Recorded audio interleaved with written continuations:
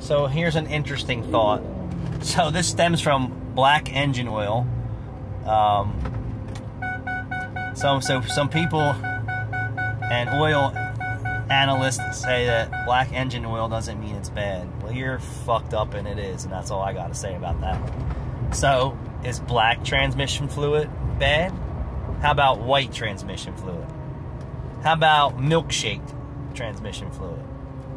So, does black transmission fluid indicate something's wrong?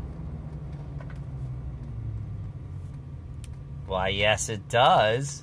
It didn't turn black all by itself, just like engine oil.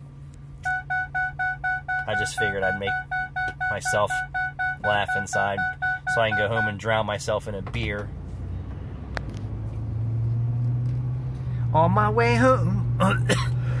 it's funny how other people in the industry don't acknowledge certain things like black transmission fluid or black engine oil.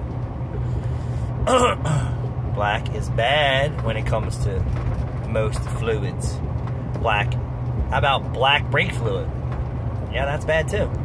How about black antifreeze? Yep, that would be bad too. How about black power steering fluid? Yep, that all indicates bad to me.